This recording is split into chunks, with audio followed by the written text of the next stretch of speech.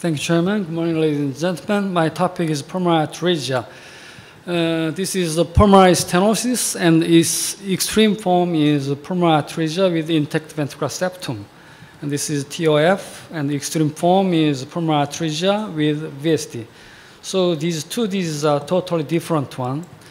And PAIVS, the, usually the pulmonary size is good enough, but the problem is right ventricle size is variable. However, in PAVSD, RV size is good enough, but the problem is pulmonary trees.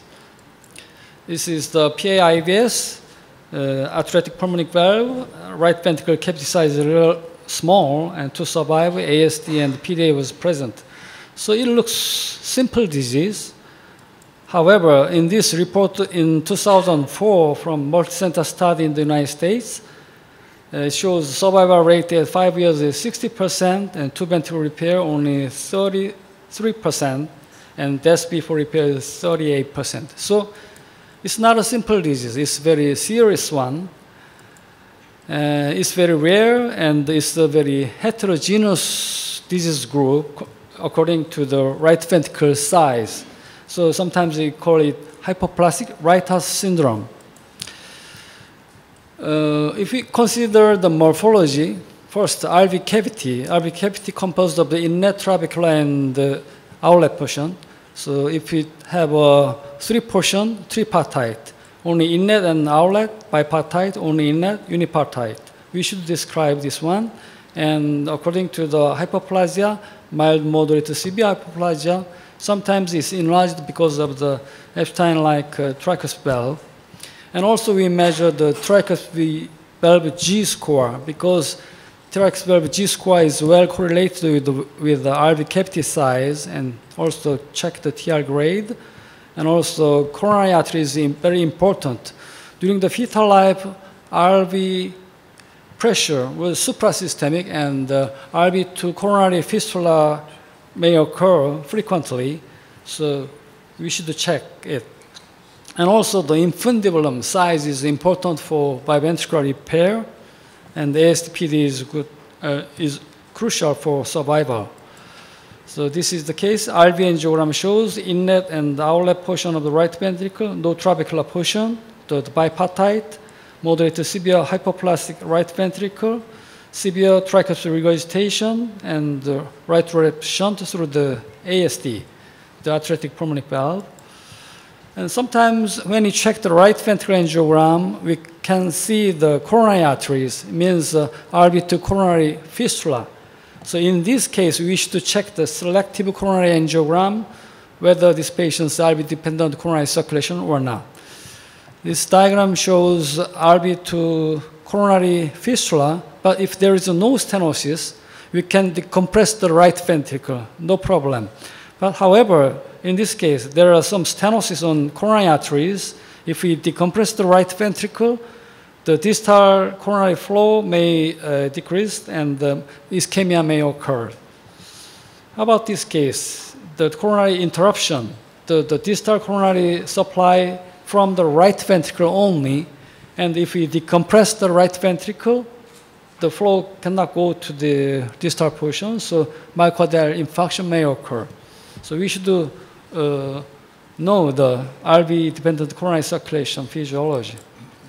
So in the same uh, article, they show the as the RV size is smaller, trax valve G square is also smaller, and as the RV size is smaller, the RV coronary fistula is frequent. It's well correlated.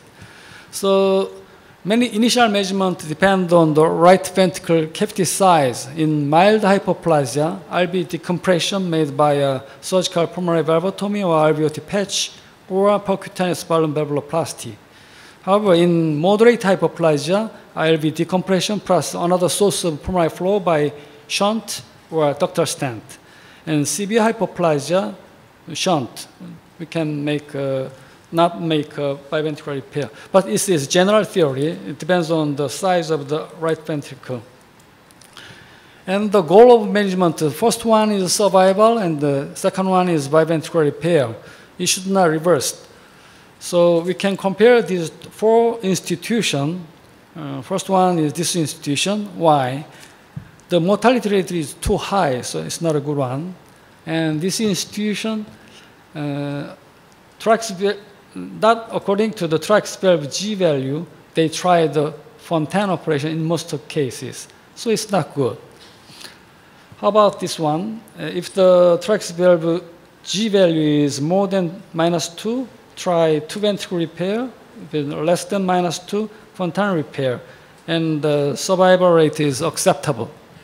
And institution L, they try the biventricular repair if the TRAX12 Z score is more than minus 3. So, but the, the, the mortality rate is a little bit higher than this institution. So it depends on the institution. This one is a little bit aggressive, but this one is very safe and good result. Uh, in this patient, we, I performed the balloon valvuloplasty and successful fourth floor was made. However, this patient died because of the sepsis. So autopsy cases, we incision on the uh, MPA, and uh, you can see the atretic pulmonic valve there is a hole made by a balloon. In the longitudinal section, section the thorax valve, uh, pulmonic valve, there is a hole infundibulum, good, and the severe hypoplastic right ventricle and the thorax valve. Uh, but uh, in case we cannot make a hole with the wire on the atretic pulmonic valve, we can use the, this kind of uh, radio frequency catheter to make a hole and uh, balloon valvuloplasty successfully. Okay, let's move on to the uh, next pulmonary atresia with the VSD. There is four groups, but these two groups uh, surgical repair technique is similar to TOF, so I uh, focused on the group three. The treatment option is variable, and uh, Primary repair means uh, first, in the first stage, unifocalization and the VS closure. And the multi-stage unifocalization operation and the combined catheter surgery approach. I will touch one by one. First, the primary repair is mostly performed by a Frank Hanley group, and they categorize the MAPCA, these four groups. First group is confluent pulmonary and large MAPCA without segmental stenosis. Um, is occupied 56%. He tried the one-stage unifocalization and complete repair. In these small to moderate map MAPCAs without stenosis, try the one-stage bilateral unifocalization and the central aorta to neopulmonary shunt. Confluent pulmonary and very hypoplastic, uh, the, the few MAPCAs, initial approach is central AP window and pulmonary and several MAPCAs, but there is sigmoidal stenosis, try the stage sequential unilateral unifocalization and BT shunt. Uh, their results are excellent in 2009 report, 90% complete repair, and the RV to LV pressure ratio is less than half in three quarters of patients. Operation mortality is 11%. It is so excellent result. Uh, in last year, they reported again their result. If they tried the single stage complete repair, the survival rate is 95%. And if they try the unification shunt first, the result is a little bit uh, poor. And uh, if they try revision beyond the hilum, compared to the no revision beyond the hilum, the freedom from reoperation is worse in this group. The second uh, approach is multi-stage operation. It means the one side unification BT shunt and the other side unification shunt and finally T-shaped conduit and VSD closure. Uh, unifocalization left side and BT shunt and the right side unification and shunt and later T-shaped conduit and fist closure. Uh, this kind of approach was usually performed in Melbourne Royal Children's Hospital group, but however, in this report, uh, they realized among the 60 unifocalized MAPCAs, 26 thrombosed and 12 stenosis. So it's not good. So they realized they should change their policy. Uh, they realized the long-term quality of the repair based on the size and compliance of the native pulmonary arteries. The unifolized MAPCAs generally do not grow, and the surgical process may compromise the growth of the pulmonary artery. So their strategy is aiming at growing at the native pulmonary artery. So their new policy is contrast CT scan or selective angio in one week old, and the central shunt at one month, within months, and the CT MRI or CAS at three to four months, and the RB2PA conduit four to six months, and complete repair later. This is their policy. The third approach is uh, co- uh, the concept of rehabilitation of diminutive pulmonary arteries from Boston Children's Hospital. In first stage, they perform RV2, uh, the diagnostic case to clarify the confluent pulmonary and the MAPCA, and the stage 2 surgery, RB2 confluent pulmonary conduit, and the stage 3 cardiac cast to perform a balloon angioplasty of the stenotic vessel and coil embolization of the dual supplied MAPCA, and finally, contour change and uh, repair of the pulmonary and the VSD closure. This kind of concept called staged catheter surgery approach. Our hospital also took this, this policy. The background of, uh, is postnatally, pulmonary vessel continue increase in number, size, and length, and greatest in first 18 months, continue until 8 years of age. The growth of distal small vessel depends on flow to the distal parenchyma, and the goal is to optimize flow to the distal branches. So this kind of concept can be performed because of the we can perform balloon dilatation. But if we cannot find out the native pulmonary we should perform pulmonary vein angiography to find out the native pulmonary arteries.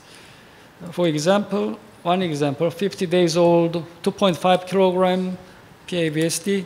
We first check the CT. There are several MAPCAs. It's on the back. We can only find out the one collateral.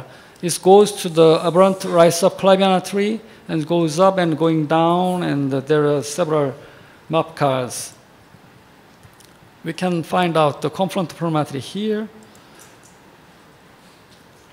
So just like this, there's confluent artery, and there are some MAPCA 1, 2, 3, 4. So I performed the angio, the descending and shows only one collateral, and I advanced the catheter to check the MAPCA 1 to the right upper lung, and one MAPCA to the left lung, and another MAPCA to right lower lung, and the final MAPCA connect to the confluent pulmonary. We find out the confluent pulmonary like this. The measure the confluent pulmonary artery 2.2, 2.5 millimeter only, very hyperplastic. So I, we, I can perform this angio with only 7 cc contrast. What's the secret is I used the saline contrast injection, contrast 1 cc and the saline uh, 6 cc, and by hand injection we can get this kind of beautiful image. Next case is also co- small artery, ma- and then other MAPCAs, and perform the central shunt first, and the RB to PA conduit. See, later, one, one balloon, minute to go. uh, almost closed. So initially very small confluent pulmonary but later we can have a good enough pulmonary size. So I'll skip conclusion. Thank you for your attention.